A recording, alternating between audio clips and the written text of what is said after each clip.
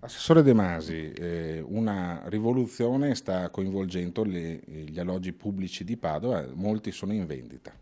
Sì, questo è stato un piano che è stato deliberato dal Consiglio eh, alla fine dell'anno scorso.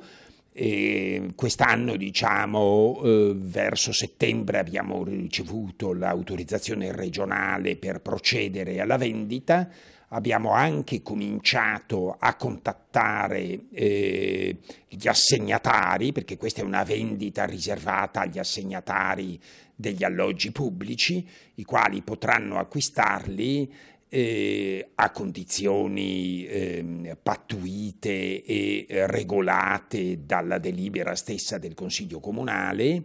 e eh, a questo riguardo poi abbiamo anche eh, avuto dei contatti, abbiamo stipulato un protocollo d'intesa con il Consiglio notarile per ottenere delle condizioni vantaggiose e abbiamo anche fatto un bando con gli istituti di credito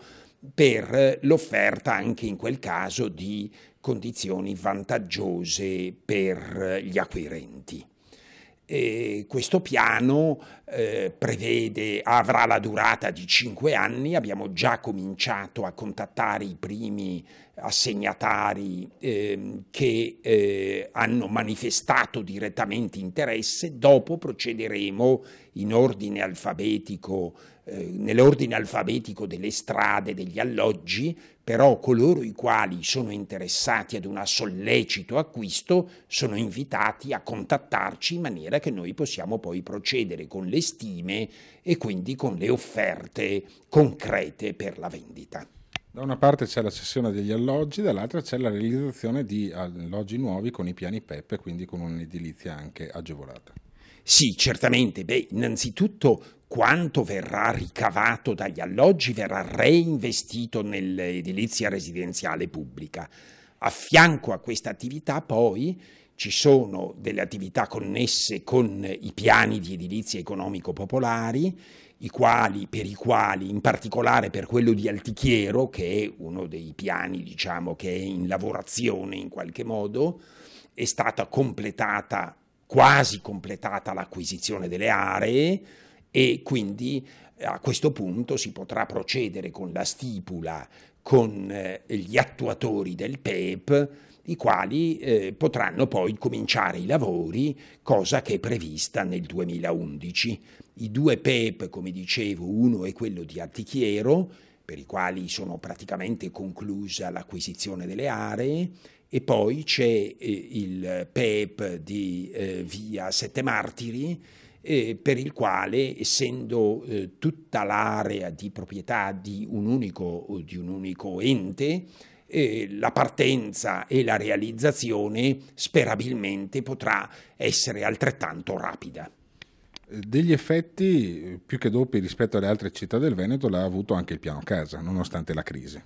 Sì, eh, nonostante la crisi, anche il piano casa qui a Padova ha avuto un notevole successo. A dicembre sono circa 350 le richieste di intervento nell'ambito di quella normativa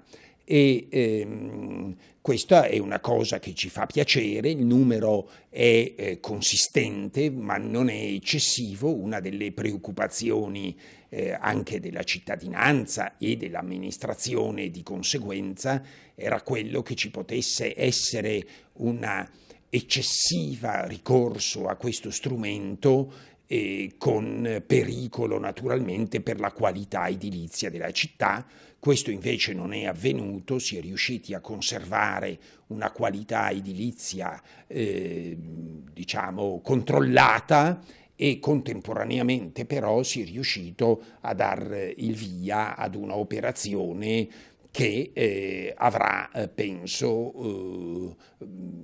offrirà dei vantaggi per coloro i quali hanno bisogno di piccoli ampliamenti del, dei loro alloggi. Abbiamo parlato di quelli che la casa la acquistano dal comune, di quelli che la casa la realizzano attraverso il piano casa, ci sono anche molti cittadini che sono in difficoltà con gli affitti, il comune non si dimentica di questi. No, il comune non si dimentica di questi, questo è un intervento estremamente importante perché offre fra l'altro la possibilità a molti inquilini anche di alloggi privati eh, di rimanere nelle proprie case. E questa è una cosa eh, direi eh, sulla quale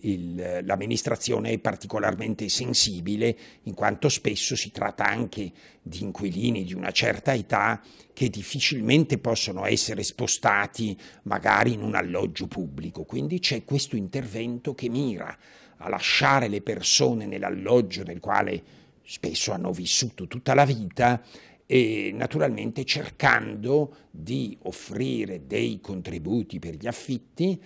o nel caso in cui questi inquilini a causa di difficoltà economiche siano incappati in fenomeni di morosità, nell'aiutare a sanare queste eh, morosità attraverso degli accordi con i proprietari, attraverso la rinegoziazione dei, dei contratti alla luce dei cosiddetti eh, contratti a canone concordato e quindi questo è un, un, un, intervento che va non solo a vantaggio degli inquilini ma anche dei proprietari stessi che si vedono riconosciute delle morosità e vengono aiutati a eh, concordare fitti eh, più adatti anche al momento attuale di crisi. Quindi l'obiettivo è quello di non lasciare nessuno sotto i ponti o per la strada.